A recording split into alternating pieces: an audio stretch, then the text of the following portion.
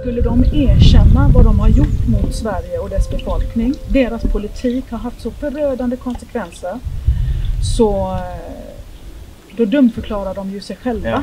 För det är ju deras politik som ligger till grund för det som sker i Sverige idag. Ja. Så då, då kan, har du hört någon sosse eh, erkänna någon gång Nej. att de har gjort fel? Nej. Jag har aldrig hört i media att en sosse erkänner att de har fel. Jag var inte vaken. Nej.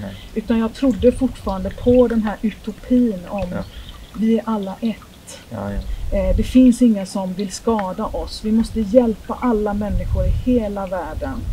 Jag, var fortfarande inne i det. ja, ja. Men sen insåg jag det att nej, de försvarar inte vår välfärd. De bedriver en politik som jag inte kan stå för.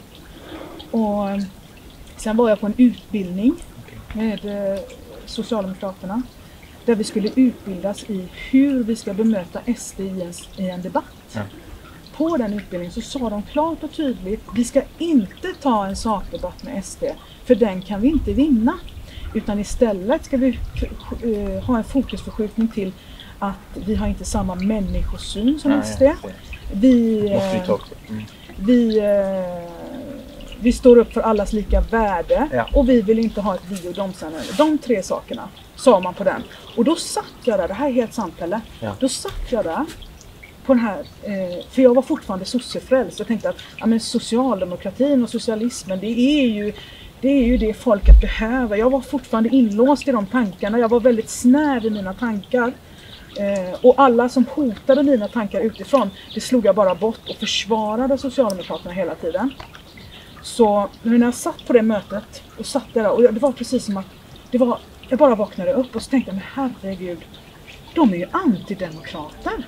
De vill inte ta en sakdebatt, de vill inte ha dialog med Sverigedemokraterna.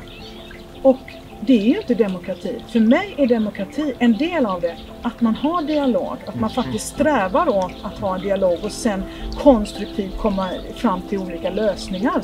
Men här ville man alltså bara snäva in sig och hela tiden Nej men ni står inte upp på allas lika värde och ni är rasister och ni är nazister och, och att de lärde oss det.